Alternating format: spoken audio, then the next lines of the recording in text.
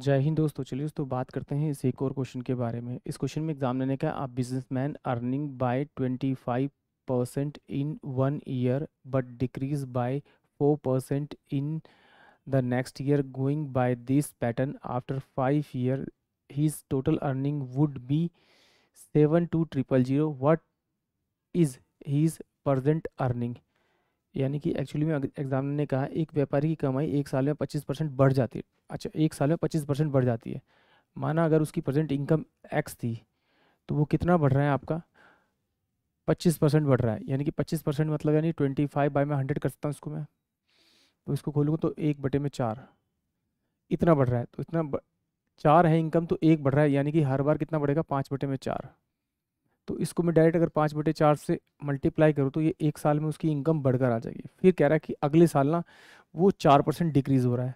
तो चार बटे में अगर मैं इसको हंड्रेड करूँगा तो चार पच्चीस सौ, यानी कि एक बटे में पच्चीस, उसकी इनकम डिक्रीज होगी अगर इनकम पच्चीस है तो डिक्रीज कितने? वन से हो रही है, यानी कि ट्वेंटी फोर यानी कि next year twenty four by में कितना हो जाएगा आपका? ट्वेंटी फोर फाइव अब कह रहा है कि ऐसे ही लगातार पाँच साल चला तो पहले साल बढ़ी है, दूसरे साल कम हुई है, फिर अगले साल फिर बढ़ेगी तो पाँच बटे चार से मल्टीप्लाई कर दीजिए, फिर अगले साल फिर कम होगी ट्वेंटी फोर बाय में ट्वेंटी फाइव कर दीजिए, फिर अगले साल क्या होगा, फिर बढ़ेगी इनकम तो कितने से बढ़ेगी, पाँच बटे चार से बढ़ेगी।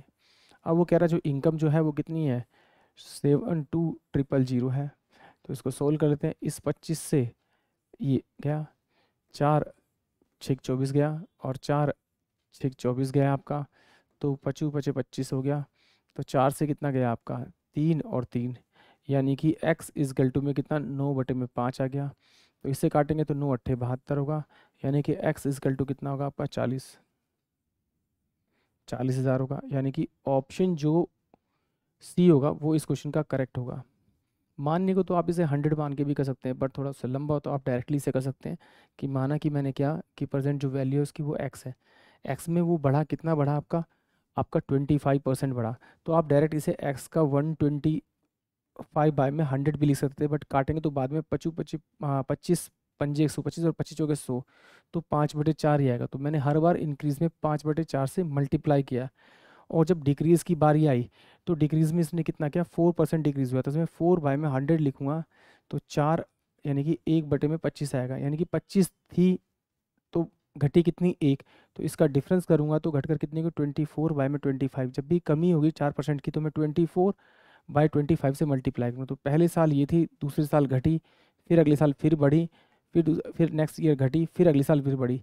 इन सब का जब मैंने मैंने सॉल्व किया तो मेरे पास एक्स इंटू में नाइन बाई में फाइव है जो कि बराबर होना चाहिए सेवन टू ट्रिपल ज़ीरो के बराबर। इसको मैं इधर ले गया, काटा तो मेरे पास में चालीस हज़ार आंसर आया, यानी कि जो उसकी प्रेजेंट अर्निंग थी, वो चालीस हज़ार थी, यानी ऑप्शन सी इस क्वेश्चन का करेक्ट होगा। आई होप आप सभी को क्वेश्चन समझ में आएगा जय हिंद, जय भारत।